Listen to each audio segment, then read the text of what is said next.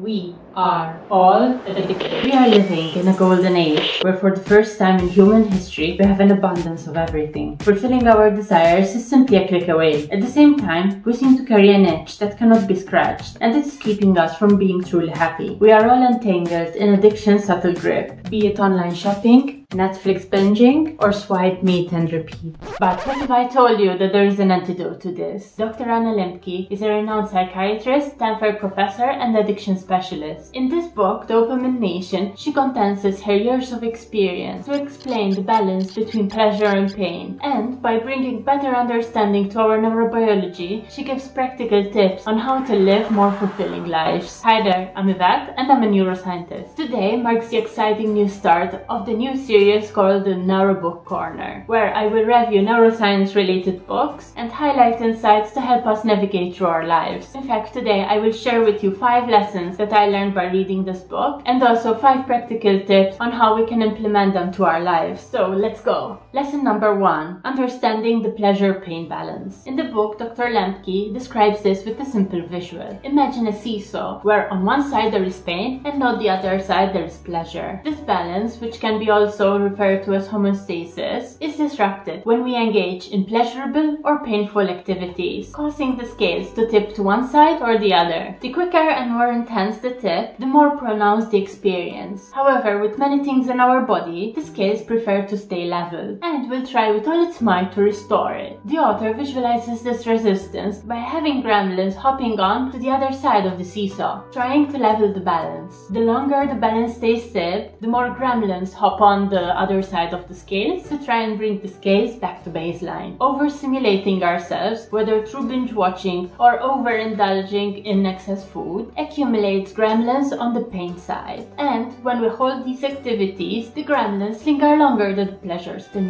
resulting in a tilt towards pain. We can easily picture this by thinking of hangovers and post-binge regret. Lesson 2. Our world of overconsumption. In a world inundated with feel-good messages, the constant pursuit of happiness and the avoidance of pain have become a fatal dogma. Shockingly, around 70% of global deaths are due to preventable diseases like obesity, smoking, alcoholism, and physical inactivity, all of which stem from overconsumption. Dr. Lembke terms this phenomenon as our dopamine economy, coining the term from dopamine, the main neurotransmitter associated with addiction. The statistic highlights how our society is heavily driven by overconsumption. This constant demand for pleasure contributes to what the author calls a vortex of compulsive overuse. And it is further perpetuated by the work hard, play hard mentality, where compulsive overconsumption is promoted as a reward for a mind-numbingly exhausting day. Even the 2019 World Happiness Report reveals a decline in happiness levels in wealthier countries. And this other study showed that higher income countries are associated with higher rates of anxiety disorders. Dr. Lembke connects this global phenomenon to the incessant search for our next high, tilting our mental seesaw towards pleasure. However, the more we indulge, the more gremlins accumulate on the other side, leading to a long-term imbalance. This shift in the hedonic set point means that our brains become addicted to certain activities, making them essential for us to feel normal. This brings me to implementation step number one. Recognize your addiction. Start by reflecting on activities that you compulsively engage in, which diverts your focus from more important tasks. This could be anything, such as social media scrolling, to gaming, to online shopping. What we learn from this book is that addiction is not just confined to alcoholism and drugs. It extends to any compulsive consumption that harms ourselves or others. For example, for me, it's binge watching reality shows on Netflix. Identifying these activities is the vital first step in regaining control. Lesson 3 Recovery through abstinence. According to the author, breaking free from the cycle of constant pleasure seeking is possible. She often recommends a dopamine fast to her patients, challenging them to abstain from their compulsive activities for a four week period. This break allows the accumulation gremlins to hop off the balance, resetting the brain's reward pathway. Generally, she is initially met with resistance, as many patients believe that they require their chosen activity to maintain their normalcy. However, after the abstinence period, they often discover that their addiction was causing secondary issues, and actually they can live their normal lives without it. This liberation from the grip of addiction enables clear thinking and empowers individuals to make an informed decision about their future habits. Supporting this, a 1988 study by Brown and Schuckit revealed that after a four-week abstinence, 85% of clinically depressed alcoholics no longer met the criteria for depression. This highlights the impact addiction can have on our well-being and the potential for positive change through abstinence. So, implementation step number two, abstain for a month. It is crucial to note that the author, a clinical psychiatrist, advises against the step for physically dependent addictions like severe alcoholism, due to potential fatal risks associated with abrupt cessation. As we've learned, the brain's reward pathway can reset itself within 4 weeks of abstinence, offering a clearer perspective on our addiction. This period enables us to approach our issue objectively, viewing it from an outsider's perspective. Additionally, if it is causing us adverse effects, abstaining allows us to recognize and evaluate these effects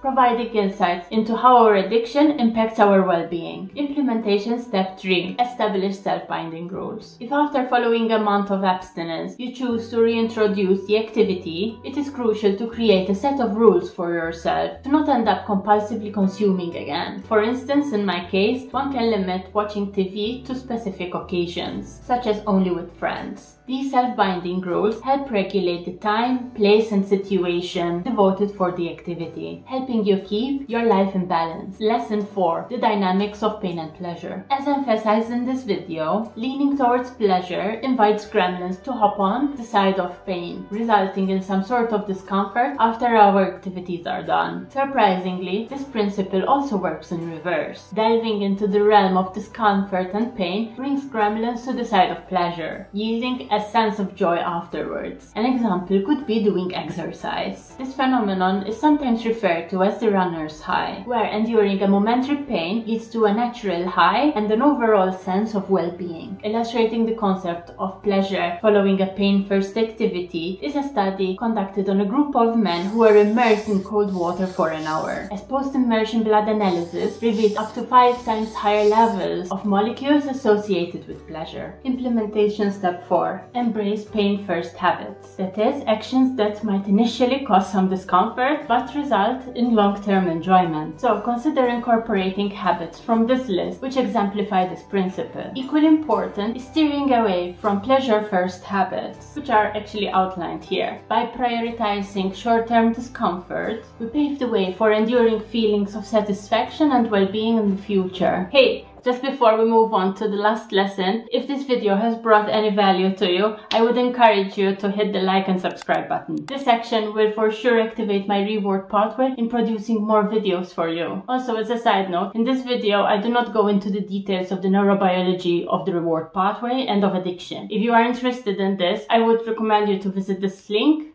Maybe it's here or down there. So with that, let's continue. Lesson 5, Breaking the Cycle. Anna Lembke implies in the book that our addictive behaviors often serve as a means to escape life's challenges. This is made easy for us as societal pressure to constantly be busy and hooked on stimuli is everywhere. Moreover, Lembke refers to smartphones as today's hypodermic needle, as they are constantly diverting our attention and feeding our addictions. She encourages us to break free from the cycle cycle to sit down, engage in self reflection, and savor the simple pleasures in life. A question she asks in the book, which made me heavily reflect, is In medicating ourselves to adapt to the world, what kind of world are we settling for? Implementation step 5 Embrace boredom. Contrary to the initial resistance, boredom holds the key to a richer life. A Harvard art and architecture professor's assignment illustrates this well. The assignment consists of going to a museum and spending spending three hours looking at one single piece of art. Initially, she is met with skepticism from her students. However, after they do the assignment, the students find that by embracing boredom, they unveil hidden details and messages in the artwork. Similarly, stepping off the overconsumption wheel allows us to appreciate the subtleties in our surroundings, and hopefully we will start to see the beauty in nature, our relationships, and ourselves. These were the five lessons and actionable tips that